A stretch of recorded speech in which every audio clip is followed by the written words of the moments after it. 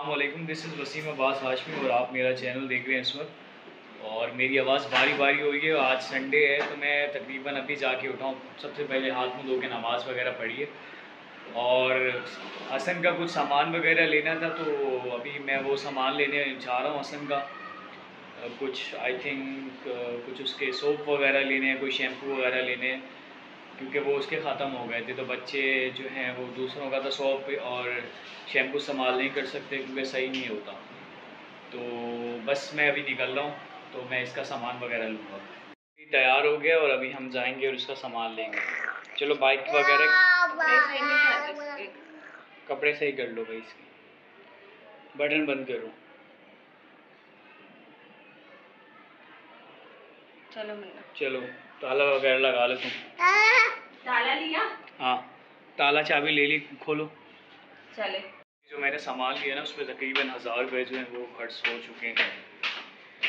और मैं सामान लेकर आया वो मैं आप लोगों को बताता हूँ क्या क्या सामान है। सबसे पहले तो मैं आपको ये बता दूँ मैंने लहसुन लिए इतने महँगे थे आठ सौ रुपये किलो।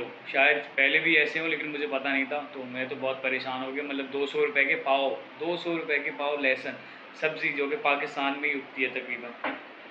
तो मैंने लहसुन वगैरह ख़रीदे और ये कंफर्ट फैब्रिक खुशबू के लिए होता है ये ख़रीदा। और के लिए नहीं होता कपड़े में डालने के अच्छा लिए कपड़ों में डालने के लिए होता खुशबू के लिए होता है ना वो? और दूसरा ये पालक है जो सब्ज़ी ये ली। और फिर थोड़ा दिल लल चाह रहा था तो ये समोसे पकोड़े वगैरह और कुछ समोसे लिए पकोड़े लिए।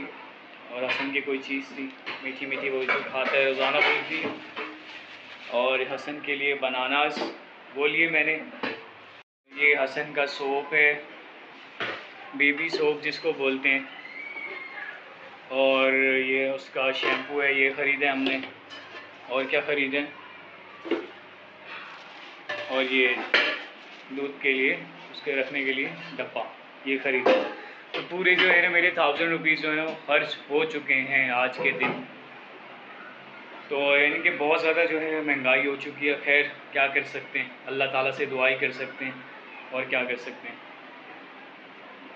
तो अभी जो है मैं अभी नमाज़ पढ़ूँगा, क्योंकि मैंने अभी नमाज़ नहीं पढ़ी है, मगरब और इशा की। वो मुझे नमाज़ वगैरह पढ़नी है। और फिर इस वीडियो को ज़ाहिर सी बात है, एडिट वगैरह भी मुझे करना होगा, टाइम लगेगा। और आज जो है मैं बहुत लेट उठा था। मेरी गर्दन में बहुत ज़्यादा दर्द हो रहा है, शायद मैं ज़्यादा सो गया था।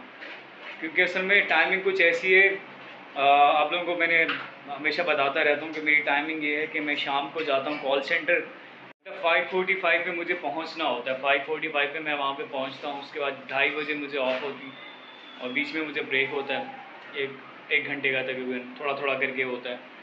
दो दिन ब्रेक करके वो देते हैं ताकि बंदा भी काम करे, उसको इन्जॉय भी हो। उसके बाद ढाई बजे मैं घर पे आता हूँ तो ढाई बजे मतलब ऑफ़िस से निकलता हूँ, फिर ज़ाहिर सी बात है टाइम लग जाता है।